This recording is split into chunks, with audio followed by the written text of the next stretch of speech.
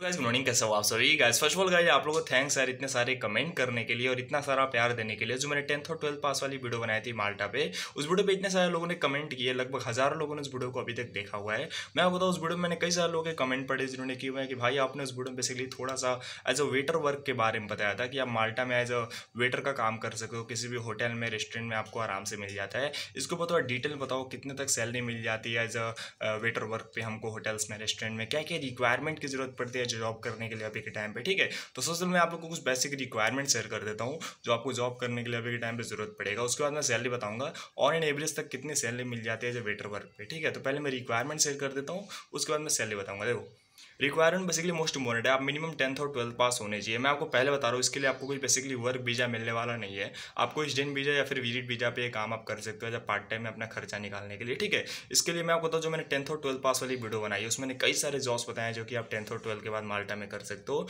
तो उस वीडियो को भी आप देख सकते हो लिंक में दे दूँगा डिस्क्रिप्शन में। ठीक है? आप स्टूडेंट वीज़ा पर लगभग ट्वेंटी आवर तक पर वीक अर्न कर सकते हो। ठीक है? काम कर सकते हो बीस घंटे तक। अगर आपका हॉलीडेज है छुट्टी है तो आप लगभग चालीस घंटे तक भी काम कर सकते हो, कोई दिक्कत नहीं है। ठीक है? बट आपका जो क्लास अटेंडेंस होता है वो नाइन्टी परसेंट तक कंप्लीट होना ही चाहिए, इसलिए ट्वेंटी आवर का रूल लगाया गया है, ठीक है? तो स्टूडेंट वीज़ा पे काम करने के लिए कुछ बेसिक रिक्वायरमेंट है, जैसे कि मेडिकल सर्टिफिकेट आपका परफेक्ट हो। ठीक है फिजिकली काफ़ी फिट होना चाहिए आप, ठीक है एज ए वेटर वर्क करने के लिए। आपका जो मतलब मिनिमम क्वालिफिकेशन है टेंथ और ट्वेल्थ पास होना ही चाहिए। आपका जो हेल्थ और ट्रेवल इंश्योरेंस है, आपका पासपोर्ट ये सारी जो लगती। है आइडेंटिटी में आपका बेसिकली पैन कार्ड होगा, आधार कार्ड होगा, आपका आइडेंटिटी कार्ड होगा, आपका जो भी है, सारी चीज़ ज़रूरत पड़ती है, ठीक है। अब बात कर लेते हैं सैलरी के बारे में तो ऑन एंड एवरेज मिलता है, लगभग फिफ्टीन हंड्रेड यूरोज से लेकर लगभग थ्री थाउज़ेंड यूरो तक मंथली मिल जाते हैं आपको। डिपेंड करता है आपको वर्किंग आवर के ऊपर कितने घंटे आप काम करते हो बट एवरेज इतना मिल जाता है। हैव नाइस डे बेस्ट आप लोग कोई भी डाउट हो कमेंट करो।